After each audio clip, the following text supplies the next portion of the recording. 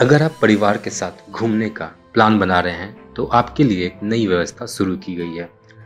वाराणसी घूमने जाने के लिए पटना से जल्द ही दो डबल डेकर क्रूज की सुविधा उपलब्ध होगी। पर्यटक गंगा नदी के रास्ते यात्रा का लुत्फ उठा सकेंगे। गंगा के रास्ते पटना से वाराणसी जाने की तैयारी चल रही है। इसके लिए रोरो वेसल नामक जहाज़ तैयार किया जा रहा है। पटना के गाय घाट से इसे चलाया जाएगा। भारतीय अंतर्देशीय जल मार्ग प्राधिकरण और पर्यटन विभाग के बीच इस योजना को लेकर बात चल रही है। पटना की ही फ्लोटिफ क्रूज कंपनी अगले महीने सरकार को प्रस्ताव देगी। सब कुछ सही रहा तो जुलाई से लोग इसका आनंद उठा सकेंगे। पर्यटन विभाग के सूत्रों की माने तो इस रोरो वेसल जहाज़ से एक साथ करीब 300 लोग यात्रा कर सकते हैं, जबकि 50 लोगों को एक साथ रेस्टोरेंट में बैठने की सुविधा होगी।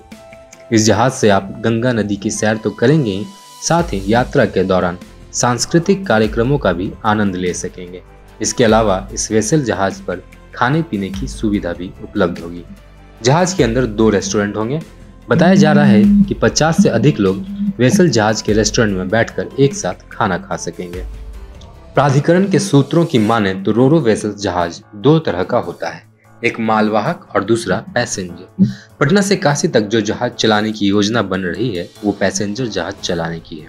गाय घाट से किया जाएगा। रोरो वेसल दीघा घाट पर भी रुकेगा। यहाँ जहाज़ पर सवार होने के लिए जेटी लगेगी। यहाँ से दानापुर, मनेर, डोरीगंज, रिविलगंज, सुंदरपुर बराज, रुद्रपुर, बलिया, बक्सर, चौसा, जमनिया गहमार गाजीपुर, रजवाड़ी होते वाराणसी जाएगा।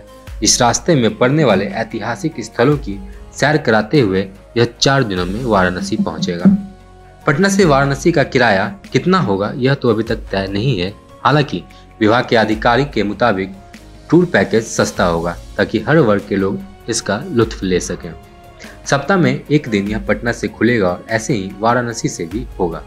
कंपनी ने छह माह पहले ही 125 मीटर दो क्रूज की खरीद कर ली है। क्रूज को एक सप्ताह में एक दिन यूपी के लिए चलाया जाएगा। पर्यटकों की डिमांड पर दो दिन किया जा सकता है। गंगा नदी के रास्ते यूपी आने जाने के लिए सरकार जल्द गंगा नदी का रूट तय करेगी। 125 सीटर जहाज़ को चलाने की तैयारी है। लाइसेंस के लिए जल्द ही प्रस्ताव सरकार को सौंपा जाएगा।